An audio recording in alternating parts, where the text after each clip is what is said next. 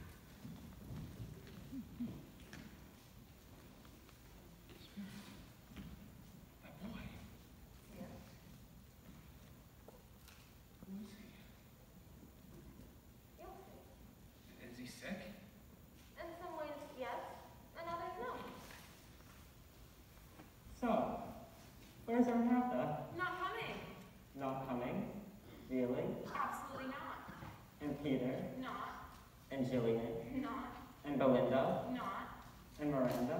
not, not, not, not, not coming. On Christmas Day? Where are they? Here we are. Oh! Uh, to Tiny Tim. Tim, did he say? They call him Tiny No wonder. He's really small. Hello. You should see the stars tonight. They're beautiful. All right, Tim. Let's go see the stars. Let's go. He fell! It's all right. Stands up by himself, does he? Quite all right. Good. You like that? Yeah, he has backbone. Go on, kid. Stand up by yourself. There. Yeah. I'm fine now.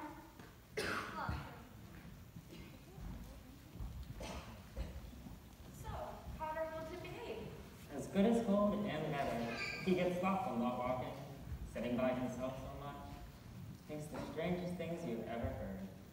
Ooh, uh, He told me, coming home, that he hoped people saw him in church, the cripple, because it thought, he thought it might be pleasant for them to remember on Christmas Day he made beggars walk and blind men see. bless the boy. Yes, he's getting better, he's growing stronger and hardy. Of course he is. Ooh, ah.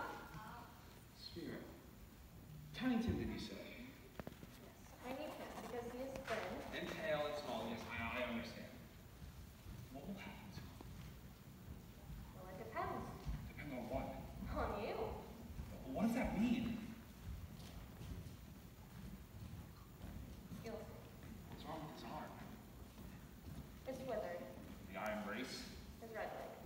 He can barely walk. Oh, Mother, the stars. Just you wait. This will be the best Christmas ever. Get warm here. Thank you. Now, ready? Mother, ready. Sutter. Not much else all the time. Is it a very big goose?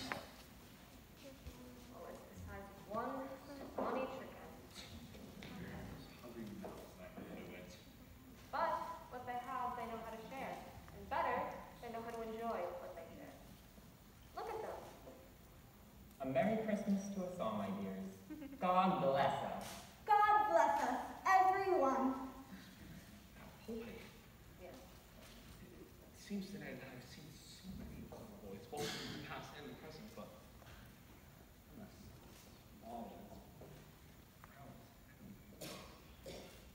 Tell me if Tiny Tim will live.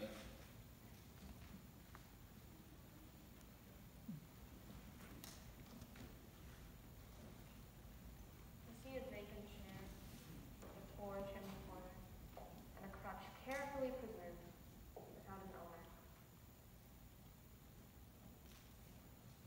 If these shadows remain unaltered by the future, the child will die. Oh, no, Spirit! Oh yes, Scrooge. Well, how long does he have? Ten years? Sooner. Five? Sooner. A year, a month, a week? What? What do you care? Children have to die. Why let them do this? Decrease the surface population. Yeah. I give you Mr. Scrooge, founder of the feast. Mr. Scrooge, founder of the feast indeed.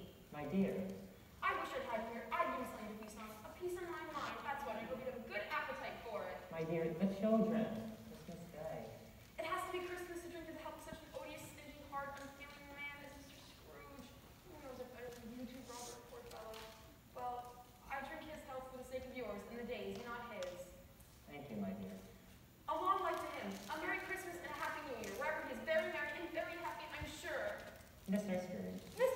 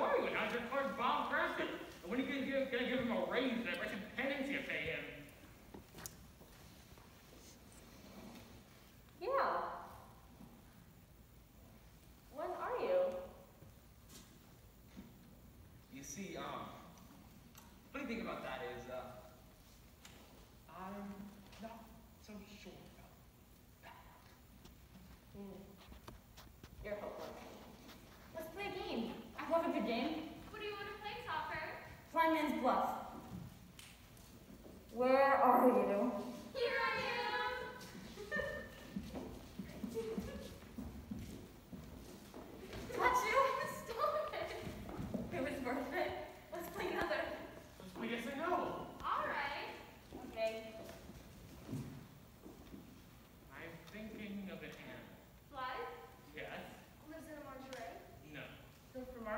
No. Horse? No.